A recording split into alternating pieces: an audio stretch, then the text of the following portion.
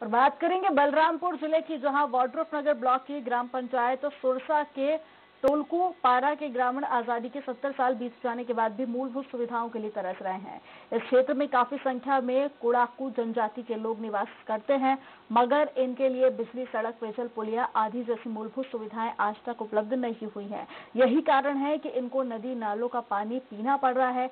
गर्भवती महिलाओं को अगर हॉस्पिटल ले जाना हो तो उनके घर तक एंबुलेंस भी नहीं पहुँच पाती है। लोगों को घर जाने के लिए छोटी बड़ी कुल तीन नदी को पार करना पड़ता है जिसमें से एक भी नदी में पुलिया नहीं बह सकी है।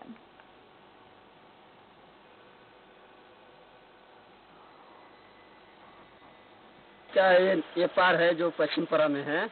एको वो आज तक यानी कि कुछ नहीं हुआ है हैंडपम्प पीने का मतलब बहुत दिक्कत होता है। दिक्कत क्या है? नाला कुछ नहीं है घोड़ा का पानी पीते हैं।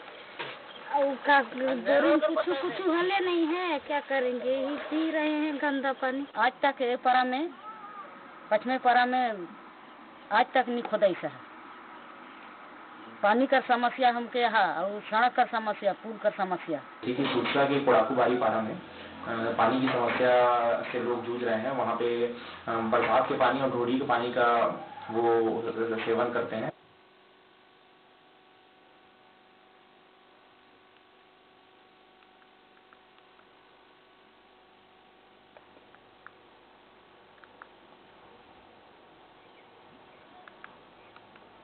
और इसी पे ज़्यादा जानकारी के लिए हमारे साथ संवाददाता सुदीप उपाध्याय। जुड़ गए हैं सुदीप, आखिर क्या कुछ वजह कि आज़ादी के इतने साल बाद भी मूलभूत सुविधाओं के लिए तरस रहे हैं बलवापुर के निवासी?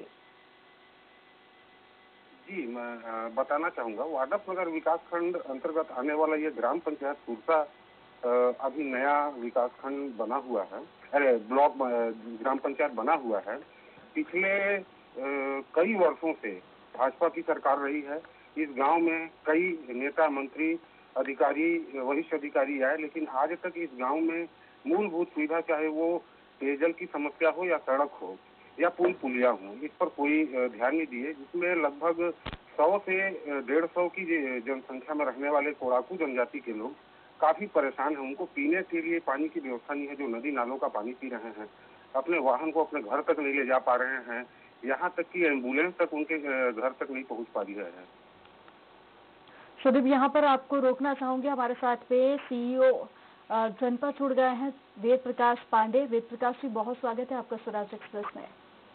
जी जी। जी। वेद प्रकाश जी बलरामपुर से मामला सामने आया है जहाँ पर 100 से 150 की आबादी का एक गाँव है जहाँ पर ना तो पीने के लिए पानी है ना तो वहाँ पर कोई मूलभूत सुविधा अभी तक पहुँच पाई है। क्या कुछ कहेंगे आप? वहाँ पे क्या है एक्चुअली दो हैंडपम्प हमारे पहले से लगे हुए हैं जिसमें एक हैंडपम्प जो है बिगड़ा हुआ था। जी। और एक जो है उसमें मटमैला पानी मतलब गंदा पानी आ रहा है। और ये बात आप ही के चैनल के माध्यम से मेरे पास भी आई थी। जी। तो मैंने वहाँ के लिए जो रास्ता है रास्ते का भी मैंने करवा दिया है और कुआँ की व्यवस्था क्योंकि बहुत सक्सेस नहीं है वहाँ पे। जी। तो पीने के लिए मैंने कुआँ के लिए जो है प्रपोजल भेज दिया है क्योंकि अभी बरसात में तो संभव नहीं है। जी। और बरसात के बाद ये सारी सुविधाएँ वहाँ हो जाएँगी और जो एक हैंड पंप है उसका मरम्मत भी जो है करवा दिया है जी। वेद प्रकाश जी अगर आप तस्वीरों में देख पा रहे होंगे तो आप देखेंगे कि जो गड्ढों में से वहाँ की जो औरतें हैं वो पानी भरने को जी, जी, जी, मजबूर हैं और अभी बरसात खत्म होने में काफ़ी वक्त है। तो इस बीच क्या कुछ सुविधा आप उन लोगों को प्रोवाइड करेंगे? हम एक हैंडपम्प जो हमारा उसको हम सुधरवा रहे हैं। जी। सुधर भी गया होगा। कब तक सुधरेगा सर? ये बस आज या कल में एक ही दो दिन के अंदर। जी। और इसके अलावा भी कई सारी यहाँ पे जो सुविधाएँ हैं उससे ये लोग वंचित है। हॉस्पिटल की जो एंबुलेंस है वो वहाँ तक नहीं पहुँच पाती है सड़क नहीं है वहाँ पे। कई सारी जो सुविधा है वंचित है। जी। सुरसा से सुरसा से फुलको पारा तक का मैंने सड़क का भी प्रपोजल ये भेजा हुआ जैसे मेरे नाले की बात आई मैंने तुरंत जो है जिला प्रशासन को मैंने भेजा है और उसकी स्वीकृति भी जो है जैसे मिलेगी तुरंत हम वहाँ पे चालू करवा देंगे बरसात के बाद जी। चलिए वेद प्रकाश जी अच्छा आपका कहना तो है है। कि जो हैंडपम्प की सुविधा है वो आजकल में हो जाएगी। बाकी जो सुविधाएँ तो हैं वो कब तक उपलब्ध कराई जाएगी? जी। पानी के हम ये कुआँ का जो है क्योंकि और हैंडपम्प अगर वहाँ करवाते भी है तो वो सक्सेस नहीं है मैडम जी। जी, और तो बाकी जो सुविधाएँ कुआँ हैं वो सर कब तक इन लोगों तक पहुंचाई जाएँगी? ये सब ये बरसात जैसे वहाँ मतलब आवा हुआ हम सबसे पहले साधन उपलब्ध कराएँगे वहाँ पे। जी।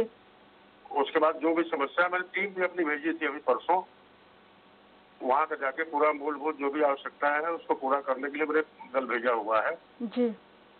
जी जी। बिल्कुल वेद प्रकाश जी आज़ादी को सत्तर साल से ज़्यादा हो चुके हैं और आज भी देखिए कई सारे ऐसे गाँव हैं जहाँ तक मूलभूत सुविधाएँ नहीं पहुँच पाती कई सारे सवाल तो खड़े होते हैं जिम्मेदारों पर। जी जी लेकिन मैंने पूरा अपनी तरफ़ से पूरी भरसक जो है कोशिश की है और मैं उसे एक अच्छे आदर्श गाँव के रूप में लेके आऊँगा।